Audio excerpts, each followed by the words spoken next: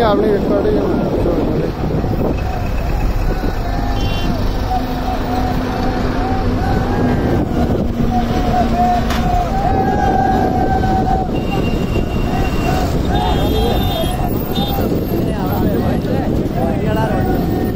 तुमचा आपण रोयल्टी आडा रोयल्टी